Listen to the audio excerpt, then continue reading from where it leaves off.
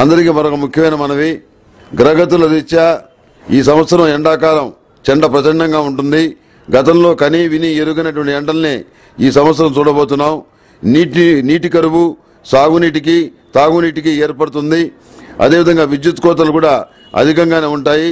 నిత్యావసర వస్తువుల ధరలు ఇప్పుడు ఉన్నదానికన్నా రెట్టింపయ్యే పరిస్థితి గోచరిస్తుంది. అందరూ ముందు జాగ్రత్త పాటించి నిత్యావసర వస్తువుల్ని నిల్వ చేసుకోవడం అనేది చెప్పదగినటువంటి సూచన.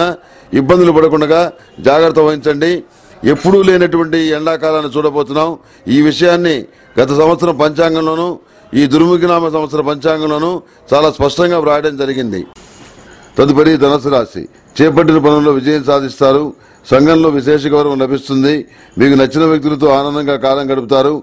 ఆర్థిక లావాదేవీలు లాభసాటిగా సాగుతాయి. రుణాలు కొంతవరకు తీర్చగలుగుతారు.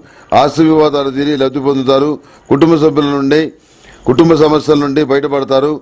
సోదరులు మిత్రుల నుండి ధన వస్తు లాభాలు పొందుతారు. వివాహ ఉద్యోగ ప్రయత్నాలు కలిసి వస్తాయి. నూతన వస్తువులు కొనుగోలు చేస్తారు. శ్వేతారక గణపతిని పూజించిన శ్రేయదాయకం. వ్యాపార విస్తరణకు గాను చేపట్టే చర్యలు కలిసి వస్తాయి.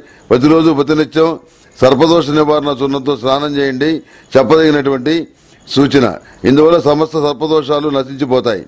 తదుపరి ధన అందరికీ ఇచ్చిన మనవి మార్చి ఏడవ తేదీన అంటే మహాశివరాత్రి నాడు శ్రీశైలంలో గురువుగారి ఆశ్రమంలో అమృత మహాపాశుపతి హోమం జరుగుతుంది. ఈ హోమంలో అందరూ పాల్గొని శుభప్రదమైన ఫలితాలు పొందాలని కోరుతున్నాం. వివరాలకు ములుగు డాట్ కామ్ని సంప్రదించండి.